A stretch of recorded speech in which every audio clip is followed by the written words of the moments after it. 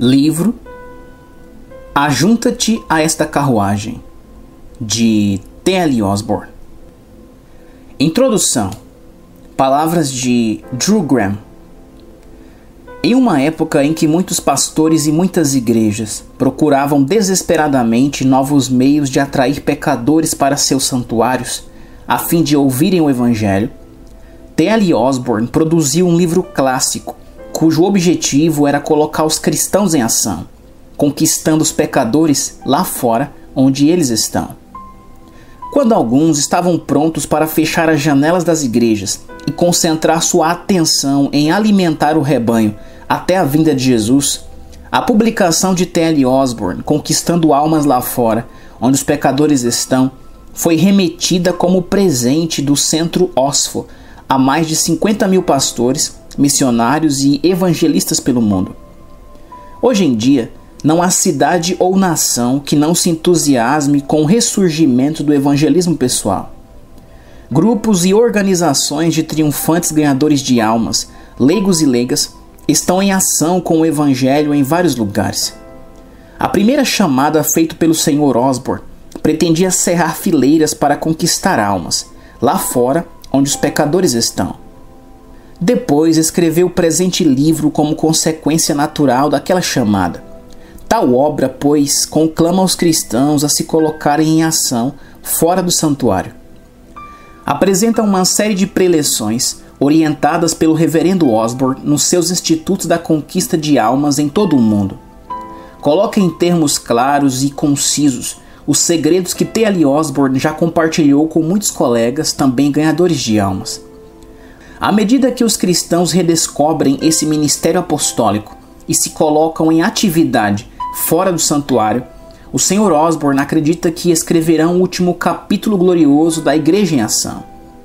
Que as verdades básicas dessas lições possam inspirá-lo a sair do templo e compartilhar Cristo com aqueles que nunca frequentaram a igreja, que possam ajudá-lo a colher muitas almas nos lugares onde você está e naqueles para onde Deus enviá-lo. Capítulo 1 Ajunta-te a esta carruagem. O título deste livro se remete a Filipe, um servo de Jesus nos tempos bíblicos, falando do Mestre para um célebre homem que viajava para a Etiópia. Atos 8, do 26 ao 40. O viajante foi alcançado pelo Evangelho, tornando-se um cristão logo em seguida. É isso que acontece quando um salvo está em ação fora do santuário. Ele leva a salvação aos espaços onde os pecadores se encontram. Nos lugares públicos, nas amplas autoestradas e alamedas da humanidade. Trata-se de colocar o evangelho sobre rodas, em movimento, ligando-o ao sistema de transportes, montando-o em veículos publicitários, dando-lhe a velocidade da tecnologia moderna e vinculando os meios de comunicação de massa. Com essa atitude, pessoas de todas as classes sociais e muitos dos que não frequentam a igreja ouvem, aprendem e são alcançados fora do santuário. Foi essa mensagem que Deus proferiu aos cristãos de qualquer época, quando disse a Filipe: Ajunta-te a esta carruagem. Versículo 29. O evangelho deve ser divulgado nos diversos suportes de comunicação ponha-se em movimento e fale a respeito de Jesus. As maravilhas do Evangelho moderno, realizado por cristãos com esse entendimento, são expressas por Paulo nestas palavras: A mesma boa nova que chegou até vocês está saindo pelo mundo todo e transformando vidas em toda parte. Colossenses 1:6 parte A, Bíblia Viva. Em nossa marcha em busca das almas, Adotemos o lema de Paulo para o modo de vida cristão. E assim, aonde quer que vamos, falamos de Cristo a todos quantos ouvirem. Esta é a minha obra, e eu só posso fazê-la porque a poderosa energia de Cristo está operando em mim. Colossenses 1, 28 e 29, Bíblia Viva. Capítulo 2 O argumento em poucas palavras. Segue-se o argumento para a conquista de almas em resumo.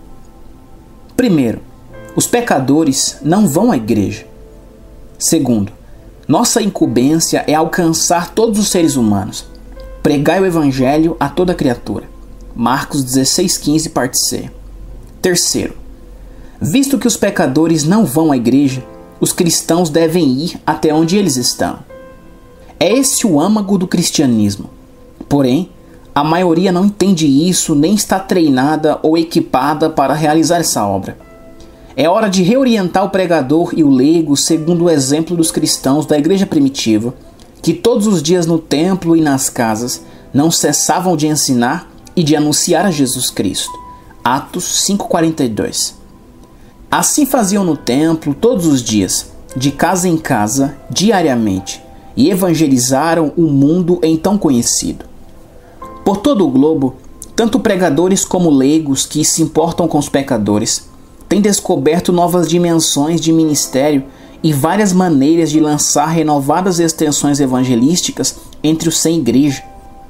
O ministério do evangelismo verdadeiro, o qual alcança os perdidos com o evangelho, pertence a todo cristão, visto que os não salvos jamais vão à igreja. Devemos ir ao encontro deles. Isso é evangelismo Muitas igrejas não têm programas para ganhar almas fora de suas dependências físicas. A missão principal da igreja, ou seja, cumprir o ID de Jesus, não tem sido levada a efeito, porque não é compreendida e não é uma prática tradicional nas denominações hoje. Geralmente as pessoas fazem somente aquilo que é comum, quer faça sentido, quer não. O mundo de hoje, no entanto, exige mudanças revolucionárias na igreja e nas atitudes dos cristãos com relação aos pecadores. Se acha que tem coragem de se expor a ideias que não são tradicionais e sente-se capaz de ter pensamentos novos, sem passar a condenar conceitos rotineiros, caso se sinta maduro para reavaliar com honestidade as atitudes da igreja e dos cristãos no tocante aos pecadores, e conhece os conceitos básicos do cristianismo primitivo sobre ganhar almas, se acima de tudo realmente se importa com os pecadores que não querem ir à igreja, vá adiante e deixe-se influenciar por essas lições. Depois veja o que acontece.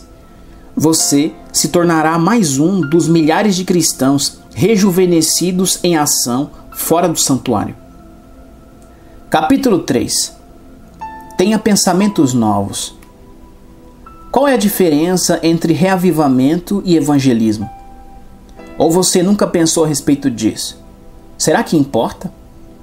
Suponho que a maneira como chamamos as coisas não é tão importante como o que nós fazemos, mas creio que, no caso de comparar reavivamento com evangelismo, nossas realizações na conquista de almas seriam infinitamente maiores se fizéssemos uma distinção nítida entre os dois. O reavivamento é renovar algo que já possuía vida. Não é possível reavivar o que não existia. O evangelismo, porém, é dar a palavra viva àqueles que estão mortos nos seus delitos e pecados, os quais nunca tiveram a salvação, os não salvos fora da igreja. É dar testemunho às almas perdidas e ganhá-las. O reavivamento é para os cristãos, a igreja. O evangelismo é para os pecadores, o mundo. O pecador não pode ser reavivado, pois está morto em suas iniquidades. Precisa, portanto, do evangelismo, necessita receber a palavra de vida eterna. O cristão já recebeu de Cristo essa vida quando creu no Evangelho e o aceitou em seu coração. Porém, visto que os salvos podem se desviar, esfriar na fé, perder seu primeiro amor ou ficar sem visão espiritual, precisam do reavivamento. Dentro do santuário é o lugar para realizar o reavivamento. Fora do santuário é para o evangelismo. A igreja entre os cristãos é o local onde devemos realizar reavivamentos. O mundo lá fora entre os pecadores é onde temos de evangelizar. Este livro é um estudo do evangelismo, da conquista de almas, um ministério que extrapola os limites do tempo físico. Esse fato precisa ser compreendido com clareza. Assim, essas lições cumprirão seu propósito de ajudar e inspirar. Leia com a disposição de ter pensamentos novos, a fim de aumentar seus esforços e alcançar mais pessoas para Cristo. O pregador e o cristão que realmente se importam com os não convertidos se dispõe a renovar os seus pensamentos e suas atividades de todas as maneiras, se isso significar que eles e a sua igreja podem obter uma grande colheita de almas.